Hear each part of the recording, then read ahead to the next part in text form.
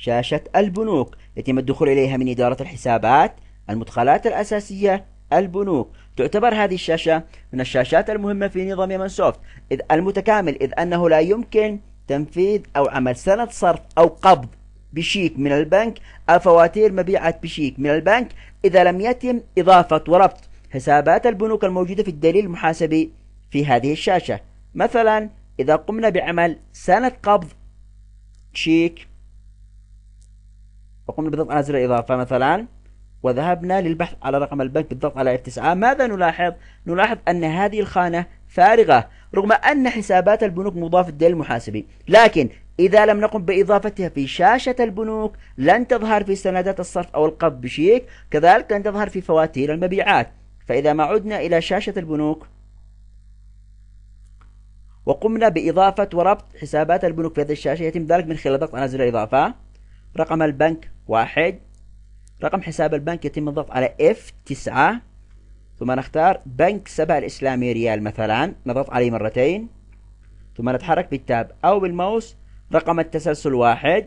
ثم نقوم بعملية الحفظ. فإذا ما أردنا إضافة بنك آخر يتم ذلك من خلال الضغط على زر الإضافة.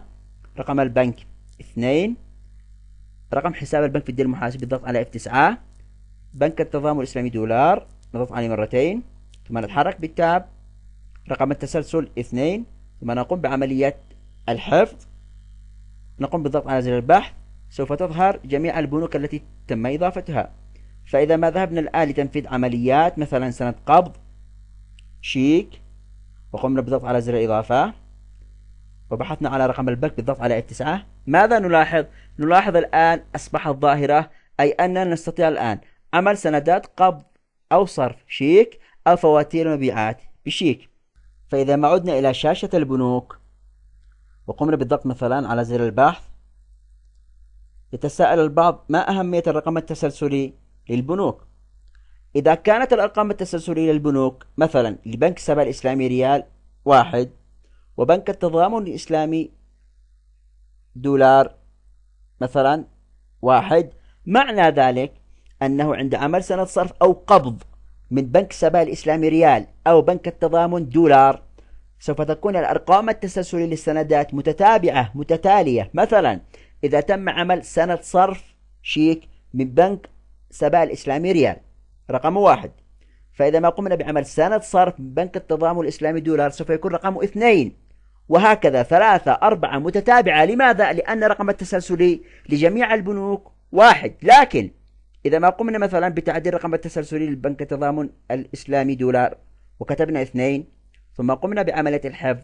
معنى ذلك أنه عند عمل سندات صرف أو قبض سواء من بنك سبأ الإسلامي ريال أو بنك التضامن دولار لكل بنك ترقيم خاص به وتسلسل خاص به في نظام يمن سوفت المتكامل.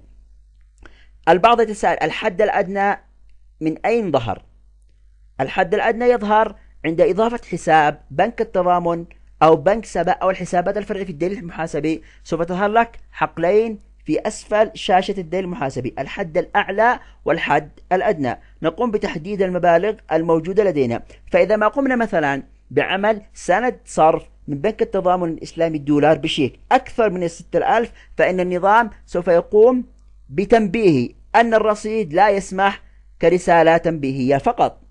ملاحظة بسيطة. إذا تم تنفيذ سندات صرف أو قبض أو فواتير مبيعات شيك؟